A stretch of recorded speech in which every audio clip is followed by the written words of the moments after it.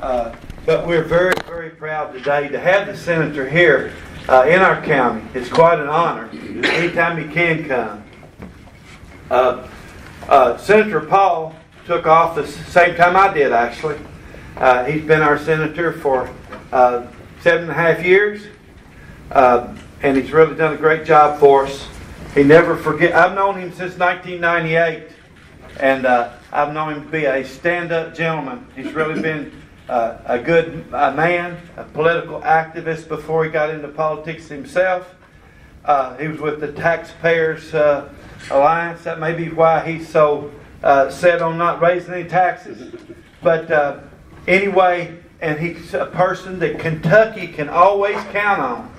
And also, Ohio County can always count on. just recently, even, uh, we called him on an issue regarding the flooding we had here and all the damage we had to our roads and infrastructure. Well, uh, what we did, uh, we got a hold of him, and he got us front in line with FEMA. So FEMA's already been done here, been here, done our assessment, and we came out well, and we're going to do good. And uh, like I said, Senator Paul always looks out for us. Without further ado, here's our U.S. Senator, Senator Rand Paul.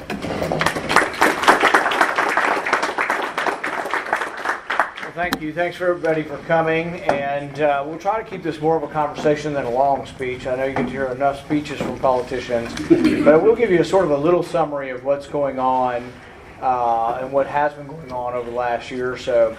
I think one of the good things that's happened in the last year or so is that uh, I think your government has gotten away from some of the overzealous uh, regulation where we get too involved with all kinds of business, whether it's uh, farming business or manufacturing business. I think the government just got too involved with telling business what to do. And as a consequence, it becomes more expensive to do business here, and then we lose to competition overseas. So I think on the regulatory front, we've made some real advantages. We repealed about 15 regulations, and there are many people running the agencies of government now who actually are, um, I guess, from business, understand business, like the uh, the guy that was appointed to be the secretary, undersecretary of the Army in charge of the Corps of Engineers, which I sometimes have some arguments with the Corps, uh, is a farmer who was born in Hickman uh, County, Kentucky, has been a farmer for many years, and a business person in Missouri, a successful business person. I think that's a, a, the kind of person you want leading some of these agencies who don't think that uh, regulation is always good, that we have to have some, but we don't want to have too much and that you also have to be able to make a profit and run a business. And so I think that's helped uh, some in the administration. We've gotten some people who have a knowledge of business and are from the business community. The biggest thing I think that happened last year, and it may be the biggest thing of the decade, uh, was the tax cut. And the reason I'm for the tax cut is that it's returning money to the people who earned it. You know, the money's rightfully yours. You give up some of your money to live in a society where you have police protection and teachers and education, but you don't want 100% of your check gone. You really don't want 50% of your check gone. You want the least amount taken from you that is necessary to run government. So we all want, you've got local government officials here, you've got federal government officials here. We want a certain amount of government. We just don't want too much. How much is too much? That's what we always jockey about in political elections. How much is too much? How much is too little? But the bottom line is we don't want 100% of our check gone, and so you're going to get a little bit more of what you earned back in your check. How much is it? A pretty significant amount, about a trillion dollars in corporate tax cut. Some will say, well, corporations are just rich people. But really, they aren't because most of us work for somebody richer than us, and even here in a small, fairly rural community, if you work at some corporation here in town, somebody may not own it in Ohio County, but it's still good for you. You've got a good paying job with good insurance. And so it isn't you versus a corporation. It's really all of us trying to, to thrive and, and get better. So corporate tax cut's going to leave over a trillion dollars in the economy. That'll buy more goods. It'll stimulate the economy. And it's different than the government coming in. So I could come to Ohio County and say, I've got a check for a million dollars, but I don't know who to give it to because uh, it's not really my job to know who's good in business, and I might make the wrong decision, or I might give it because of political favoritism to one person or another. It's better to give it back to you in Ohio County based on what you paid. So if you paid a million dollars in taxes and I paid a hundred dollars in taxes, the guy who paid a million dollars or a woman who paid a million dollars is going to get a bigger tax cut. That's just the way it is. You paid more, you're going to get a bigger tax cut. Even if the percentage is the same, 10% of a million is bigger than 10% of a $100. But a trillion dollars is coming back to not only your community, to all communities across the country in corporate tax cuts. In addition, there's going to be 2 trillion more in what's called repatriation. American companies that have made profits overseas, they've been staying overseas. So like Apple alone has 350 billion dollars they're bringing home. They've already announced they're going to have a, a new uh, plant that they build somewhere. They haven't announced where. I saw the CEO the other day in the office. I said, "What about Kentucky?" And uh, he wouldn't let on where it's going to be. He doesn't want a big competition. But I haven't heard rumors of it being here. But it's going to be somewhere in the U.S. and 20,000 jobs will be created with Apple bringing it home. In addition, they're going to pay 38 billion dollars in taxes. So it's going to bring home money, about $2 trillion that'll circulate in the economy, but it's also going to bring back revenue of hundreds of millions of dollars that'll go back into uh, paying for some of our costs of government. Altogether, it's about $3 trillion. So in the next six months to a year, year and a half, $3 trillion is going to return to the private marketplace. That has to stimulate you know, the demand to buy things and the energy of the economy. I really think we're going to grow at over 4%. You know, we've been growing at less than 2%. So we've had what people are calling anemic growth. I think we're really going to go up to 4% growth with the tax cut. And I'll end with this. While tax cuts are good, you shouldn't cut taxes and raise spending at the same time. And unfortunately, that's what they're doing in Washington. So I've given them kind of a hard time because when I ran for office, I criticized President Obama at every stop for spending too much and for having big deficits. Now it's my party spending too much and having big deficits. And so I try to be fair that if I was critical of President Obama for it, I've got to be critical of my party now for spending too much and borrowing too much. Under George Bush, the debt went from 5 trillion to 10 trillion. Under President Obama, it went from 10 trillion to 20 trillion. We're on our way to, to, to, to, double it again. Maybe not quite double it, but we're on our way to add another 10 billion in the eight years of the Trump administration. So debt, if you think debt is too much debt is a, is a problem, we, we so it has to be some kind of critical voice. And it hasn't made me too popular with some of my colleagues in Washington, but I kind of tell people it's inversely proportional. I think, you know, if you're not very popular in Washington, you might still be popular at home for saying the same thing and promising to do the same thing no matter which party is involved. So uh, that's kind of an update of where we are. And uh, really, what I'd like to hear is from some of you guys, men and women, how the community's doing, what kind of businesses are doing well, which aren't, what your concerns are. Uh, do you want to start us off, Judge? Um, uh, I want to, uh, again, by, by thanking you for coming. And uh, we appreciate you fighting this, um, your own party, or our own party in Washington to try to get us to do right as well as we did the other guys. Appreciate that. I want to introduce uh, everyone to you. Uh, right next to you is uh, Mayor George Chinn of Hartford. David Randolph, he heads up our Career Center, which helps manufacturers and employees hook up together. Uh, this Charlotte Whitaker with AARP in Audubon area. this Eddie Embry, he work he represents our county on the Workforce Investment Board. Uh, back here we have Mr. Blaine Piper. He's our uh, CEO of our hospital, which is really good and something we're really proud of. It's growing and and uh, we're going to fix it where no one leaves our county line to go for health care. It's going to be here. Uh, Judson Hunter, he's the, he's the uh, president of the Chamber of Commerce. Uh, then we have Chase Vincent, who is our economic development guy here. Works for our group is called OCEDA. He works for them. Next to him we have Les Johnson. He's retired county court clerk, but he's a, he's a community activist. You don't see anything happen here that he's not there. He's, he's, he's with everything. Greg Comer is our uh, uh, ag extension agent here in the county. Tracy Beatty is our uh, county sheriff. Jason Bullock is a magistrate here, but he's also an educator. So he's here in case there was any questions you had concerning education. He can he can ans- answer that. And do you know uh, that's uh, Jason Hasser? I'm sorry, but anyway, that's that's it. And um, uh, and like I said, uh, I don't question anything because I'm happy with what's going on in Washington. Uh, and I believe basically our uh, citizenry here in Ohio County is pretty happy with Washington. Uh, sometimes we've got some problems with Frankfort, maybe, but not so much with the national. But uh, I just turn it over to you, and you can ask anybody any question you want to, or, or take questions from them, however you want to field it. Well, you know, one of the things that's come out recently is, you know, uh, President Trump has put tariffs on China, but now China's saying they're putting tariffs back on us, and people are worried about a trade war. Does anybody have any uh, comments out from agricultural community or otherwise that wants to uh, talk about uh, how tariffs would affect uh, Ohio County? From an agriculture standpoint, we're always concerned about getting in any kind of a trade war. Of course, our, our corn soybean prices, which are probably two of our, our biggest commodities that we produce here in Ohio County, uh, they have really opened up a lot of export markets.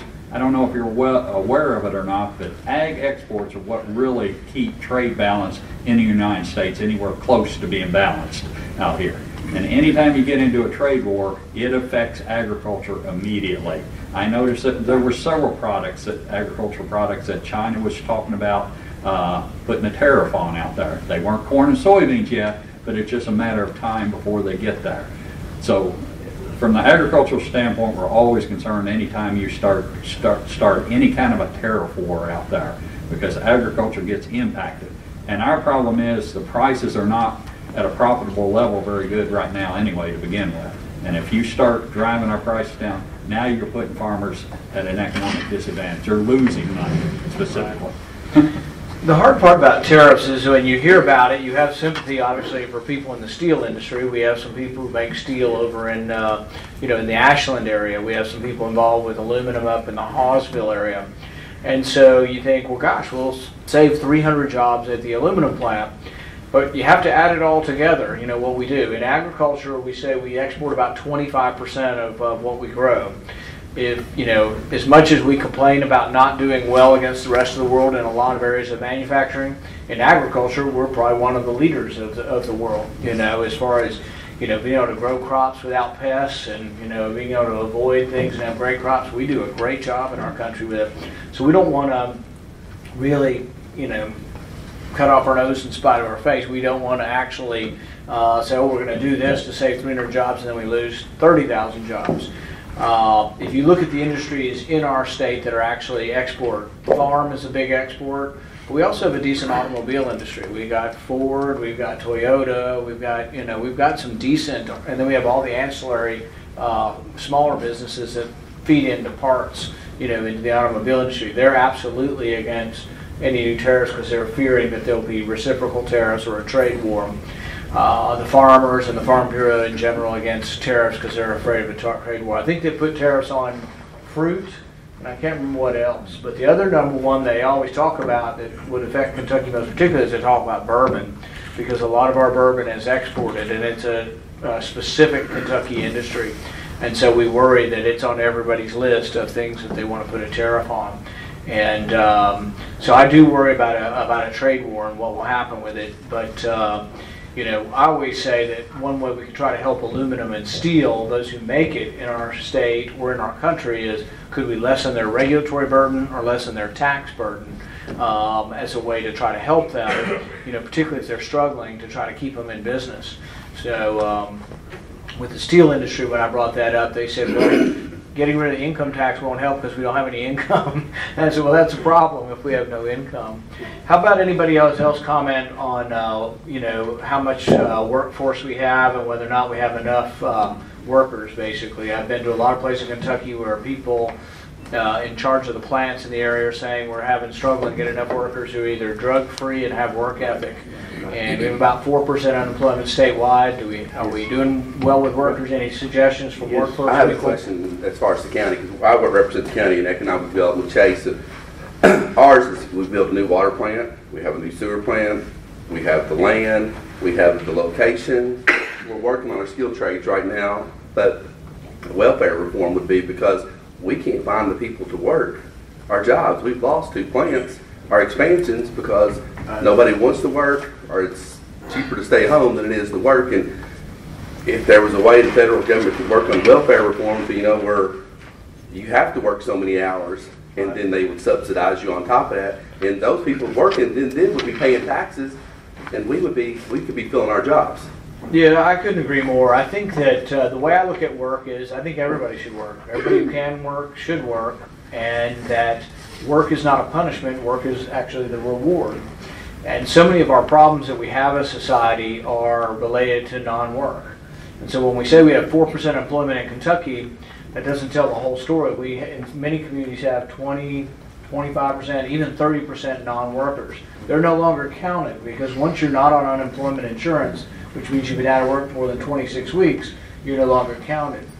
Now, the governor has, has asked for a work requirement for Medicaid, which I think is a good idea, and it's for, only for able-bodied people, so it's not for pregnant mothers, it's not for people who have an injury that they can't work, it's for working people that are able-bodied.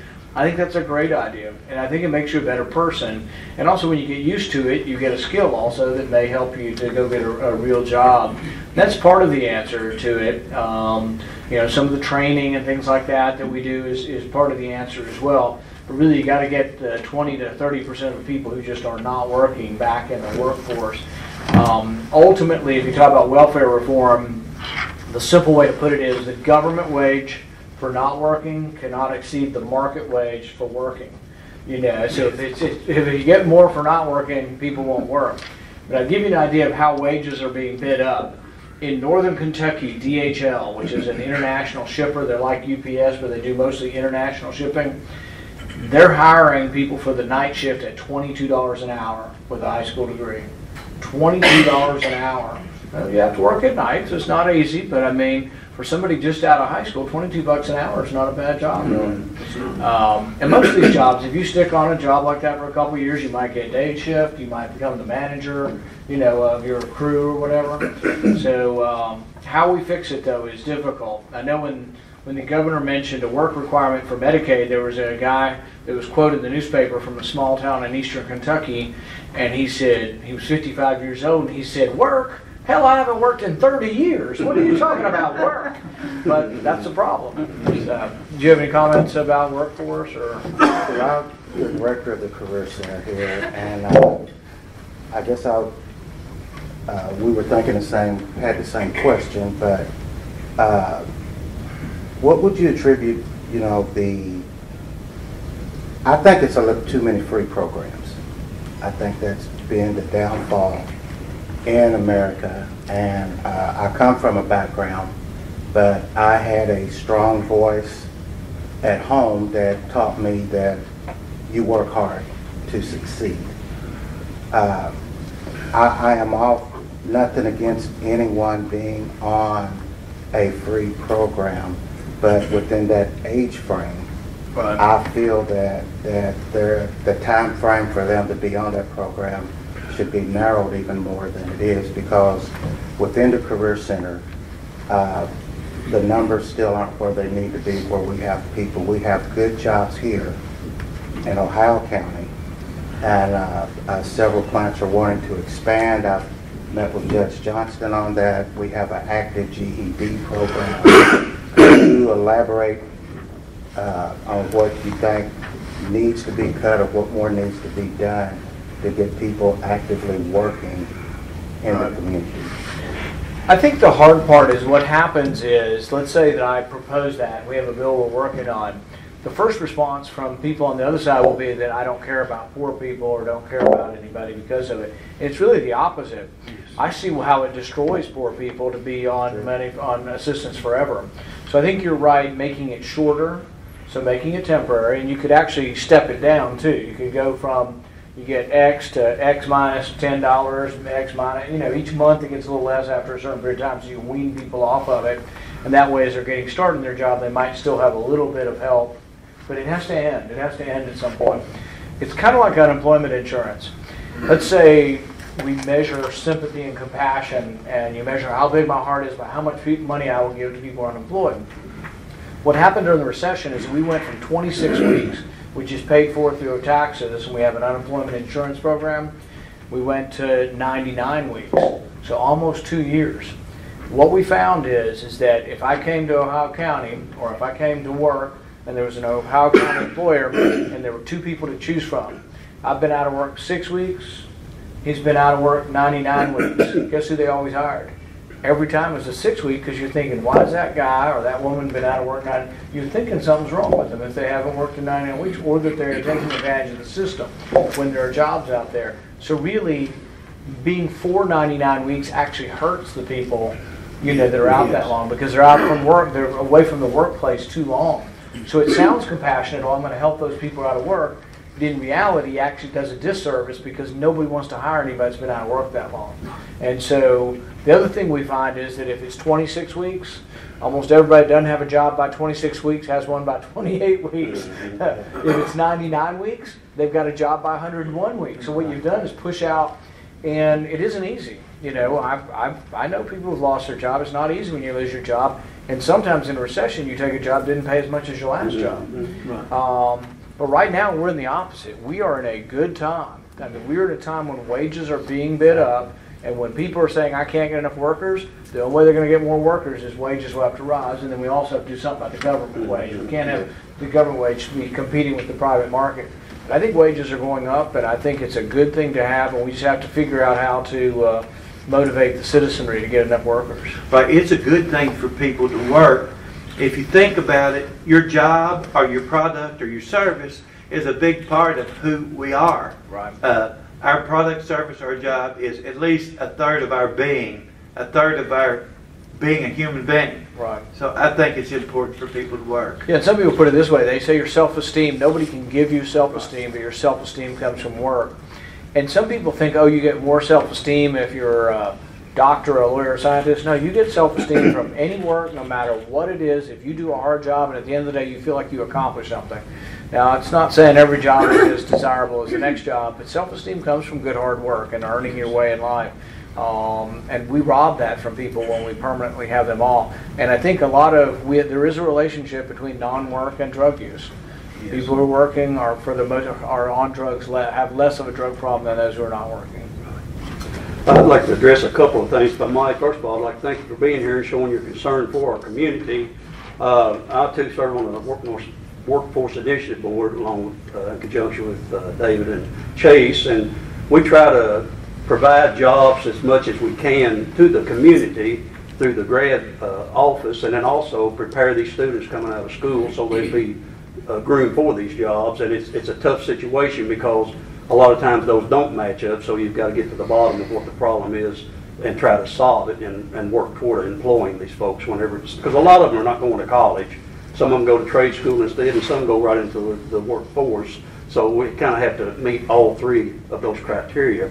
And the other thing I'd like to address is on the pension side of it. As you know, you know, I've met with you in your office several times in DC and Aubrey even more than you when you were busy, but, uh, I, uh, too, am a member of the United Mine Workers, and we're still in a struggle to try to, you know, get our pensions. We met with you previously when we were working on our health care and our pensions, and we achieved our health care, but the pensions were not uh, put in the bill along with that. So we're still trying to, to get that. And as you know, the last spending bill didn't include anything for those pensions. And so now they have set up a committee, I'm sure you're familiar with, uh, four Republican, four uh, Democrat senators, four Republican, and four Democrat congressmen that are going to serve on a committee and have to come up with something by the end of November to provide for Congress and Senate to vote on.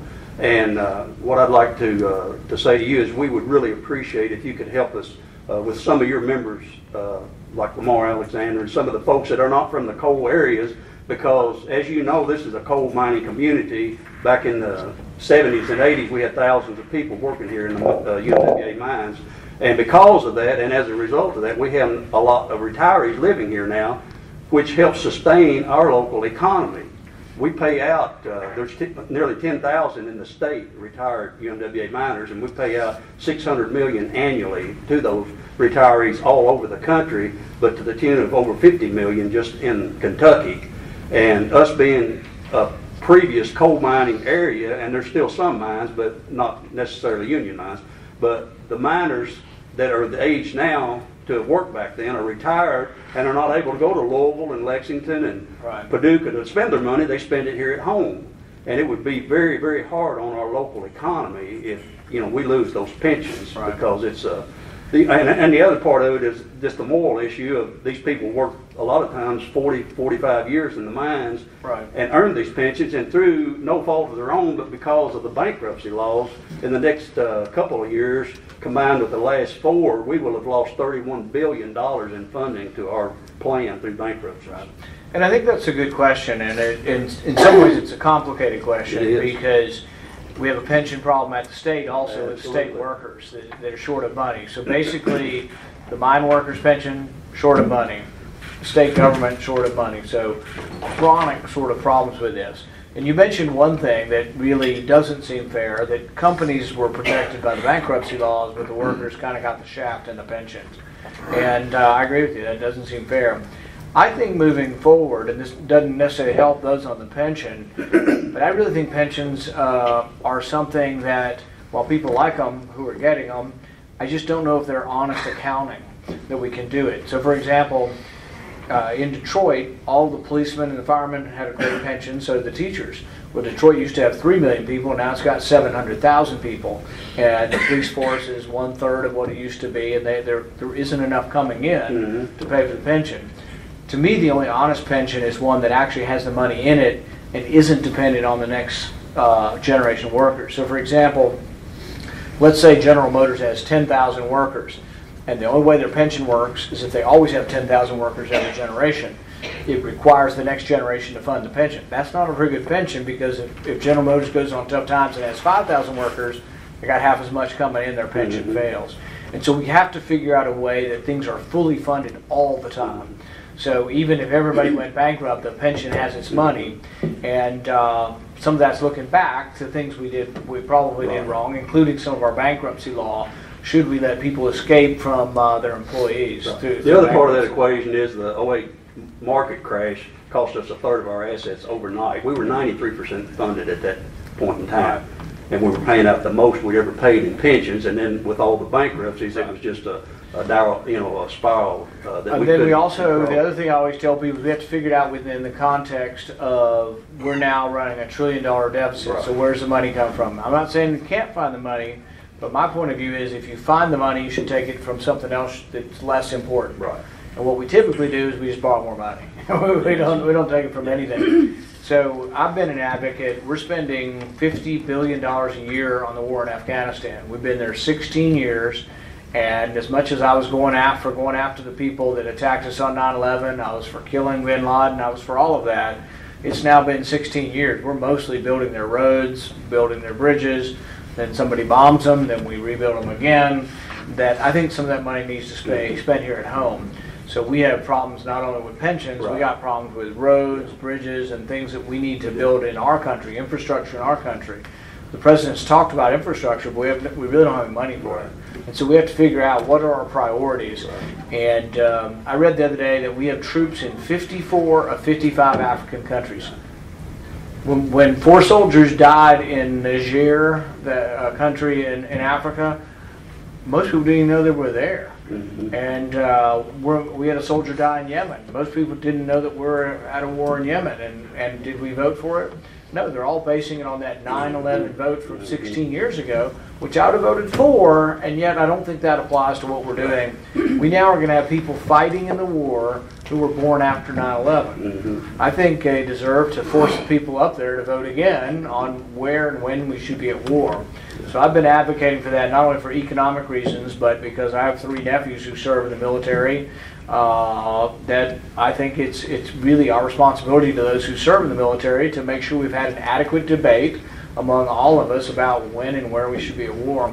It kind of ties into whether where we have enough resources. The, the other thing about that, and I just want that to be information for these folks too, because a lot of them don't realize what's going on. I know that we've talked with you about it, but this last uh, bill that we were going to try to get through, we were actually asking for government loans that we would pay back. We weren't trying to secure money from the government and not, you know, pay it back. So that was our answer to fixing this problem. So it's not like we have to have ours funded, and we have a closed system. So uh, in the la, uh, the last five years we fought for our pension health care, we've lost twenty-five thousand members. So we're gonna end our own problem, you know, Right. in the, in the near future, unfortunately, through attrition, but I just Right. wanted to let people know that. Anybody else? Uh, it's my turn. Uh, always an honor to have you in Ohio County Senator, and on behalf of the 470,000 AARP members across the Commonwealth, we say thank you for your service to us. Uh, we uh, appreciate the grandparent bill that was just recently passed. Uh, approximately 55% of our grandparents here in Ohio County are rearing grandchildren the because of our drug problem. Now, Sheriff Tracy is keeping our jail full, but it's still, thank goodness, the, these children have grandparents to take them and care for them and provide for them. Um, we are concerned about in-home services. I think you shared with me at one time in Washington that your grand, was your mother on meal, the meal program for? She was part of Meals and uh, she was part of giving out Meals on Wheels. Oh, Uh, in- so you're- She did for like 20 years, yeah. very involved. You know what that's about. Brenda Renfro's our director here, and, and we have waiting lists for meals. Every county in the Commonwealth have people waiting, and unfortunately, they die waiting for these meals or in-home services. So please continue to remember in-home services. You know how important those are to the seniors uh, here in not only Ohio County, but Kentucky. Um, what- What is your opinion of the future of Social Security? Where's it going to go? I know you've I shared. thought I said only easy questions. That's- that's not an easy question. We started out with just one, one industry's pension. Now you got the country's pension system that's just completely broken. But you're the man, you're up there. No, it's, it's a big problem. So here we're talking about, you know, maybe tens of millions or hundreds of millions. With Social Security, we're seven trillion dollars short. Now, so there's some debate on that. Some will still argue, you know, if Harry Reid were here, he'd say, no, we have two trillion dollars in surplus in Social Security. But it's complicated. If you were to go to the Social Security office, what you'd find is a stack of paper, treasury bills worth two trillion dollars. That was paid. You paid in in taxes, all of us did. We paid in in taxes, and we were paying in more than they were paying out in Social Security. So what did Social Security do with the money? They bought treasury bills, and they have them, but they're non-negotiable. So they can't go to the stock market and sell them. They can't go to the public and sell them. They're only redeemable by the Treasury. Well, the Treasury has to buy them with your taxes. And we are, we are short, basically, and we have to buy those treasuries. So really, Social Security right now pays out more than comes in. There's more retirees than there are than what's coming in from workers. And it's about a $7 trillion shortfall over a couple of a decade period. Uh, you know, you either can raise everybody's Social Security tax, or you can have everybody wait a little bit longer to get their Social Security, or you can means test Social Security. I would do both of those. I would for the next generation. I'm 55. For my age and younger, I'd say, guess what? It's going up a couple months every year, and by the time you get to be it, by the time I get there, it'll probably be 70. That saves a lot of money. People say, well, I don't want to wait that long. I don't know how else to do it because it's either that or we, at the end, what happens in about 10 or 15 years, we get to a cliff and everybody has to have their Social Security cut 25%. The problem with that is there are people who live on six, seven hundred dollars a month. They can't take a 25% cut. Um, people who've been successful, many of us in this room, could be means tested and make a little bit, take a little bit less. If you give me $300 less in Social Security when I retire, I can survive on $300 less because I will have other means, hopefully, of, of my retirement. So that's what I would do is to those who are pretty well off and have done pretty well, I take a couple hundred dollars a month from them. That's called means testing, based on income. Um, but at the very bottom, you wouldn't take any. So I would take it from those who made more money, they'd give a little bit less in Social Security, and we, everybody would wait a little bit longer. Um, one of the complaints from the other side is that many working class people have to work harder and retire at a younger age because they've worked construction, they're going to retire at 60 because their body's beat up from doing all the work. And so it is harder, and you have to figure out something to do with early retirement for those who can't work, you know. But uh, something has to be done. What we've been doing is sticking our head in the sand and doing nothing, which is kind of like the state government. And I know some people are unhappy with the governor, but the governor's been brave enough to tackle a problem that if we do nothing gets worse over time.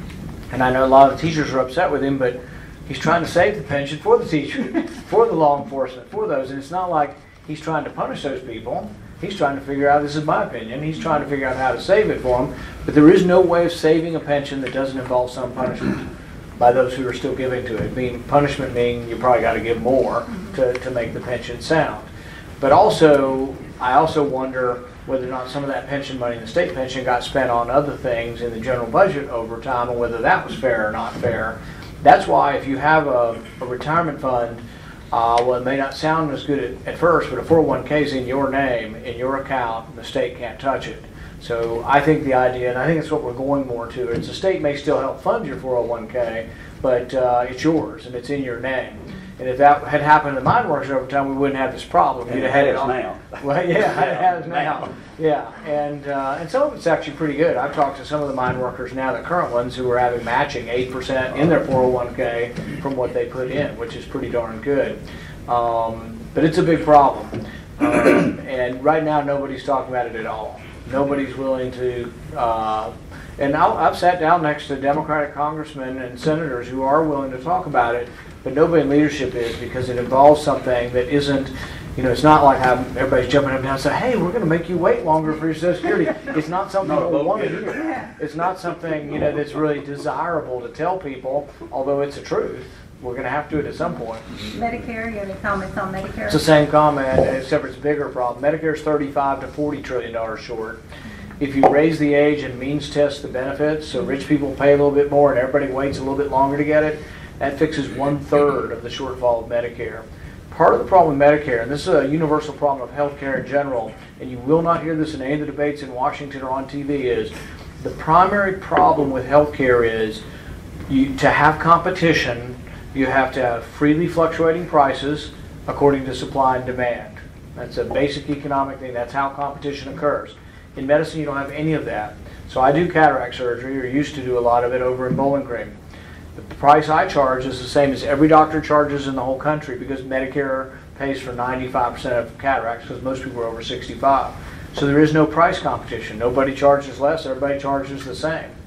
Uh, it's the same with almost everything, even private insurance. Uh, Blue Cross pays every doctor in the state of Kentucky the same for cataract surgery. So there really isn't any price competition. But if you want to go buy electronics, you call a couple people and you find out what the price is. Even at the grocery store, there's 10 different varieties of bread and there's 10 different prices. And people look at the price and that forces the more expensive ones to come down. If no one's buying them, they got to bring the price down. None of that's happening in medicine. And that's what you really need in medicine is you need competition. If you want to get rid of your glasses though and have LASIK surgery, the average patient calls four doctors because you'll shop based on price because you're going to have to pay out of your wallet. Your insurance isn't going to cover it, Medicare's not going to cover it, but if you want to pay for it, you've got you're going to have to pay out of your pocket. So you will shop based on price. And the price of LASIK's gone down 75% over the last 10, 15 years. Contact lenses, you know, very, very competitive, you know, because people pay out of their pocket mostly for them. So we have to inject capitalism into healthcare, but we also need to inject it into Medicare as well. Thank you. We do Sure. appreciate you. Yes. In my mind, we can't talk about welfare reform without talking about justice reform. Um, As you know, we have the highest, you know, amount of incarcerated people in the developed world.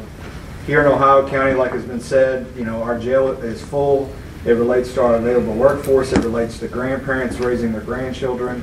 And the vast majority of these people that are incarcerated are nonviolent drug offenders. And the recidivism rate is sky high. So in my mind, it seems that this, this system obviously isn't working. Right.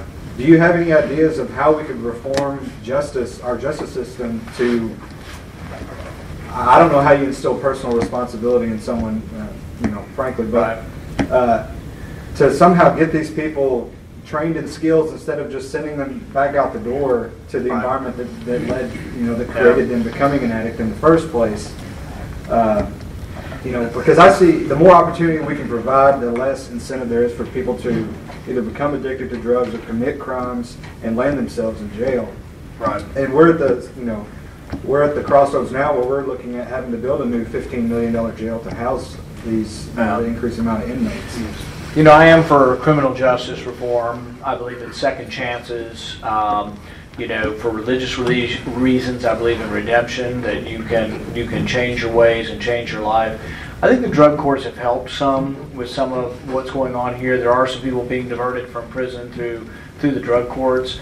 Um, but it's still a, a huge problem that we have. And I, I think that, you know, as a Republican, Republicans go around saying we're for family values and family this and that, which I am. But in order to, one of the biggest things disrupting families is basically jail. And then if people get out of jail, can't work, they go back to either selling drugs or committing crimes because they can't get a job because they've got a criminal record. Um, I've visited some of the different businesses and groups around the state that are hiring people who have criminal records. Um, most of them have been nonviolent, but drug crimes to try to get people back. Uh, Goodwill does this.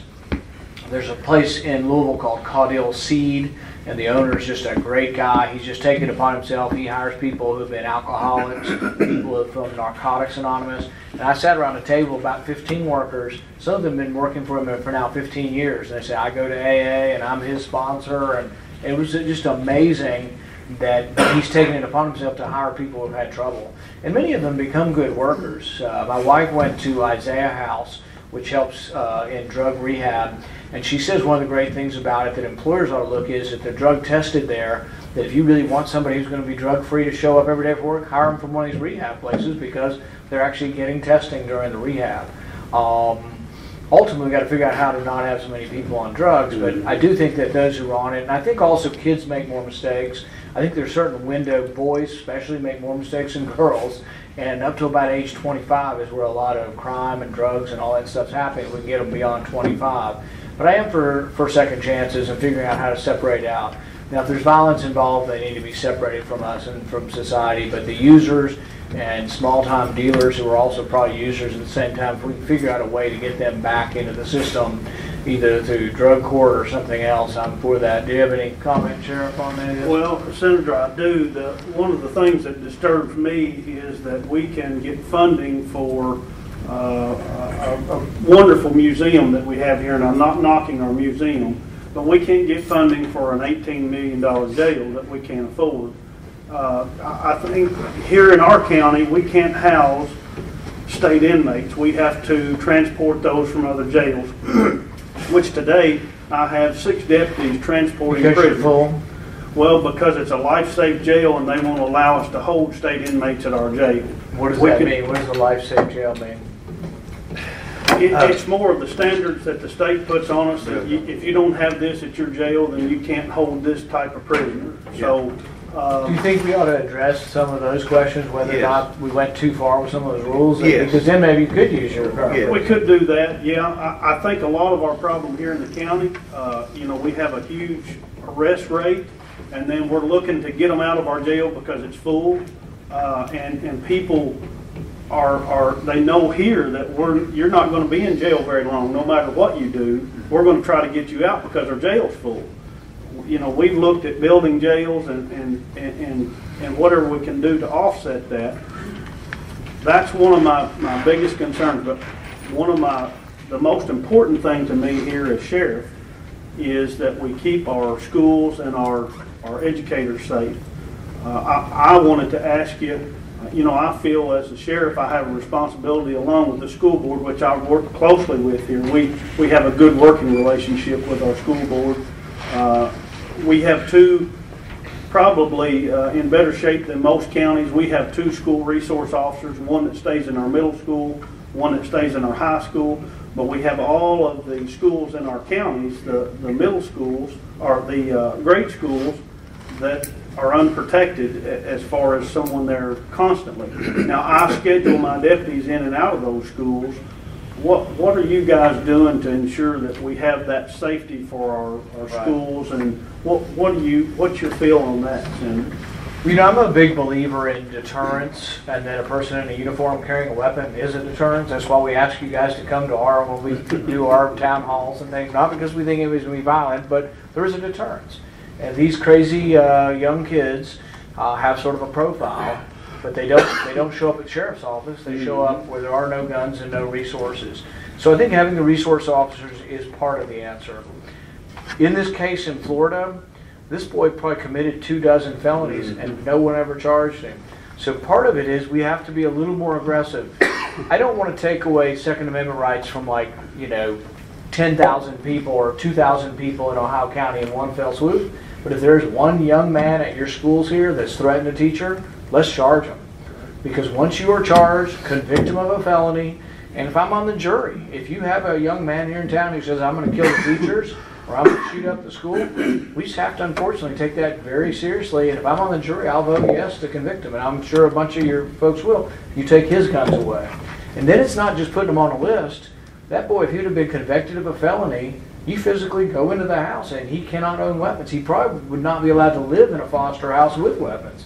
I mean, you really would try to isolate that kid from, from guns. Maybe either grows out of it or gets institutionalized or something. But um, the real problem there had nothing to do with Washington. Had to do with the sheriff's office. It went 40 times to that kid's house.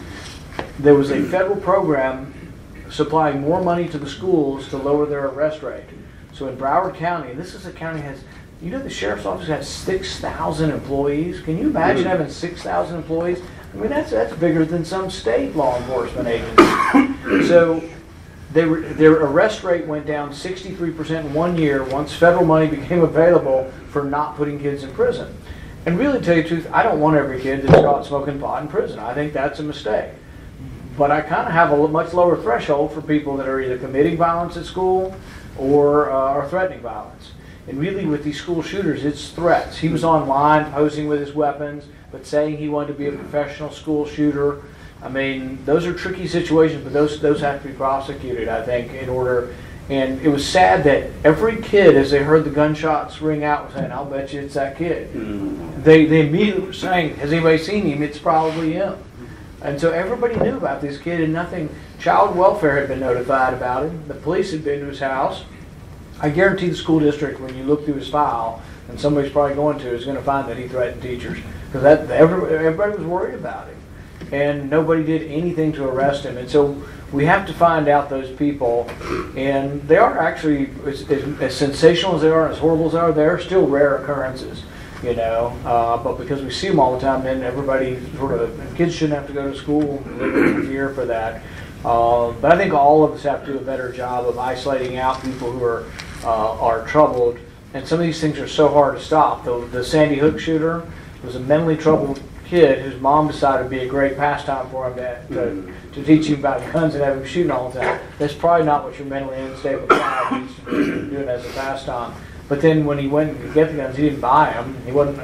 He was too young to buy them. He shot his mom and took the guns from the from the house, and then went and did the shooting. So, um, not easy. Some people, you know, I like the idea of mentoring and things, but I think also, and I'm for mentoring. Don't get me wrong. I don't think this kid was getting better with mentoring. There are just some people who are just they. He was a sociopath of some sort, and uh, he needed to be stopped, not necessarily made better.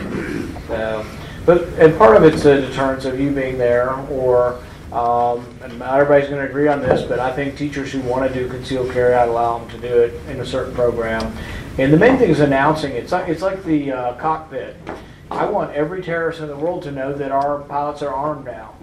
Not because the chances are that great, you really don't want to get in a gunfight in a cockpit, but at the same time, you want every terrorist in the world to know that if you get into the cockpit, guess what? You're gonna have a gun there, and you're gonna have a fight. Um, But if you announce the opposite, that we're gonna have gun-free cockpits or gun-free schools, it's an incentive for these troubled kids to say, this is where I'm gonna show up.